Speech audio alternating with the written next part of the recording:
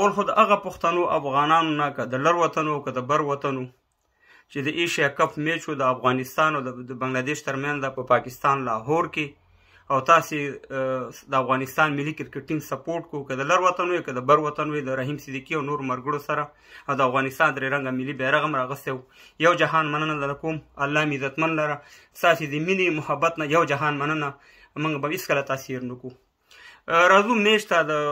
افغانستان او د بنگلاديش ترمنځ په ایشیا کپ د بنگلاديش دوه میچ او د افغانستان اولنې میچ کوم چې په پاکستان لاهور کې هغه نن بنگلاديش وګټل مبارک دی بنگلاديش ته خو من خالی نیوکه چې کو منګه د اصلاح په خاطر کو که تاسو وګورئ عمومي افغانان ورونو نن د افغانستان ملي کرکټ ټیم چې راکوشو میچ ته دا ولنی اور نه تاسو لګان دا ولګوي ټول لوبغاړي نه خم خو دا ټول لوبغاړي د سیو لکه ستړي سومانه چې نه خوب کړي نه آرام کړي او ستړي د فاروقي دا ول اور نه تاسو ګوري چې په 15 لسرن دا ورګ چې تا ول اور کې 15 لسرن دا ورګي او په درې اوور کې دیر شن دی نو دا خو ټي 20 نه دا خو 50 اورونو میش دی نو هغه ټیم اډوانټیج هغه نه شروع شو د بنگلاديش او هغه سترګې سرې شو سه مهربانه په افغانستان باندې درې سو درې دیر شن 15 دیر شندونه وکړه چې دا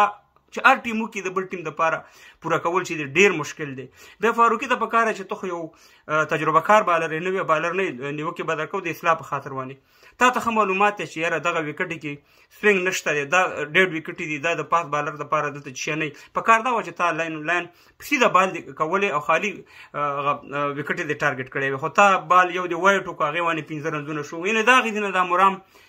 خراب شو فیلډینګ هم خراب شو اوس موږ ته څه پکار دي اوس موږ دا چې د افغانستان خدا مې بیل وکړه دا مې چې ته افغانستان ګټلې وي نو بنگلاديش به کور ته تللی او افغانستان به دویم روډ ته داخل شوی اوس بنگلاديش هم یو میچ وګټلو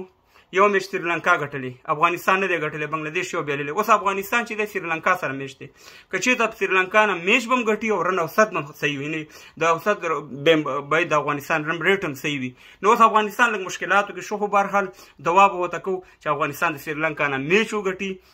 چې کوم را روان دی او د ایشیا کپ او رن اوسط باندې وګټي او افغانستان دویم راوند ته ورداخل شي خو به هرحال په دې غلطیانو باید تاسو نظر وکړئ چې نن د افغانستان ټیم ذهناً تیار نه و دې میچ ته چې دا میچ وګټي ځکه ما د دې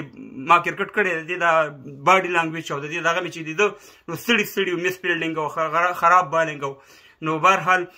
بیټسمنانو دومره غلطي نه وه زیاده غلطي چې وه د فیلډرانو او د بالرانو وه نو په دې هیله چې بل میچ د سریلانکا نه وګټئ او خوشحاله آباد اوسئ او دغه افغانان نه بیا پښتنو نه مننه چې د افغانستان کرکټ ټیم سپورټ کو که په لر کې دي که